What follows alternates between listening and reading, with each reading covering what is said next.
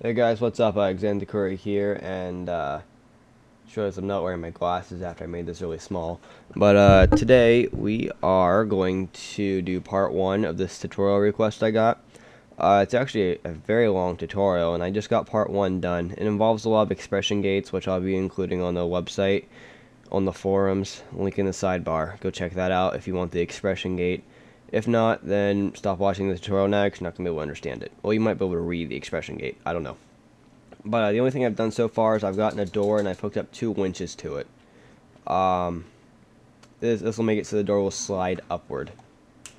And uh, let's see. Let's go and get started. See, here are my two winch. I mean my hydraulics. Sorry, my hydraulics. I'm not using winches for this. Um, if go over to wire, um, I made, I'm going to go and spawn the two expression gates. The first one's called timer off.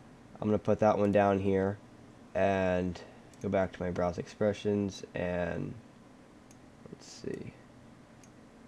Hydraulic door open. Put that one right up here. Alright, and also, you know, expression gates might be in the sidebar. If not, I'll provide a direct link to them to the forums. So you can check that out there. Uh, let's see, I'm going to go ahead and wire this up real quick. Length goes to, it just goes there directly actually. And this length goes here directly too. Okay. And for this, I could not get the keypad because I can't find it for the life of me. I don't know, it's really weird. I used to have it, but then something went wrong. I don't have it anymore. But uh, we're, we're going to use a data port. Or, no, we're going to use data plug. Yeah, using data plug kind of spawn that up there and then uh, right click and you will spawn the other half of it. Now, I want to spawn a small screen so we can understand what's happening here. Uh, just get that little bad boy. Change it to pass. Now, if you get the, if you have the keypad, you can just uh, kind of modify it to work with the keypad. If not, then you can use data plug. I think it looks really cool, actually. Um, I'm going to go ahead and wire this up to that. Alright. Now you see if we plug this in, the value turns to 1. So we'll worry about that here in a few minutes. Uh, let's go ahead and get everything else that we need real quick. Uh, spawn a timer, which you can get in gate time timer. Uh, place that just kind of right below, I mean, right, right, right above your timer off expression gate. And we want to go to uh, arithmetic and get a floor round down gate put that above your timer. Now we're going to want another, wait, do I want to do that now? What else do I need? I feel like I'm missing some important things, but figure out later, I guess. Uh, you're going to want a small screen.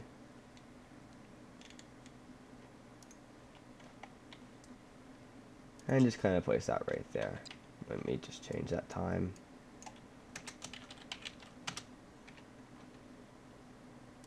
Okay. Let's go and wire some things up real quick.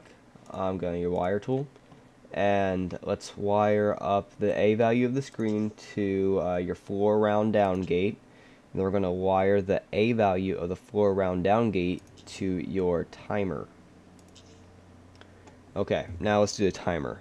This takes a little bit of time. Um, take, well, let's see. Let me spawn a very, very small piece of metal. That's not very small. Huh. How small is that? Okay, never mind. Um, this wiring is going to be a little messy, but uh, I don't know why I keep doing that. But uh, you should be able to figure it out. Just follow me exactly right now. Okay, we're going to take the timer off of the expression timer off, and we're going to put that to our floor round down. Okay. Now, we're going to that's what I forgot. I forgot a button. Alright. Just gonna button real quick. I'm just gonna call it button charge because that's what's right there. Make sure toggle is on. Okay. Back to our intense wiring moment. Wire on to the button. Okay. Now we're going to go up to our timer. Press run on the timer and output run. Now, right click on the timer so you'll see reset and do reset output reset okay that should finish that up now take out your data plug. Could take a little bit of force. And uh, wire password or pass up to data socket. Now, right click on that and do time down to floor round down. Okay. Now, we're going to plug in our data plug and we are going to press this and let this run through once real quick. Alright, once it sets back to zero, unfreeze the door, because if not, the door might go psychotic again. This door is very touchy. Okay. Let's give it a second.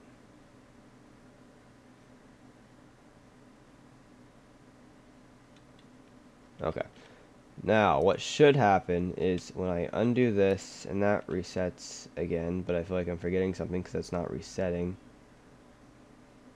Okay. Now, everything's back to normal. Let me go ahead and turn this off real quick. Oh, good, I made it. Okay. Now, this is where everything will be stationary. This is how everything's set up. Now, you can wire this however you want. You can put wherever you want. I'm just doing out here for light's sake. Okay, so you walk up with your data plug you plug that in and then you go down here press that on two three four and on four seconds it opens now you quickly grab the data plug and run through I don't know why I'm not running oh because the data plug was stopping me that's nice okay let me try to show that again really fast okay turn this on Wait till it hits 4 seconds and that goes up. Okay. Grab your data plug and crouch and go. Yes. And the door closes behind you and it will not go back up. Now, in part 2, I'm going to show you how to get that timer so the timer does not keep running. Uh, the timer will turn off and we are going to, uh, oh, what else is on that list? There's some other things on that list I have to do, but, uh, oh yeah, you have to be able to open it from this side and close it from this side too. Which, I don't think you need to be able to close it from this side, but, uh, being able to open it from this side, I don't have time in this tutorial. So, uh, thanks for watching, and part 2 should be up in, I have no idea how long, whenever I get time. So, uh, this is Xanthocori, signing out. Peace.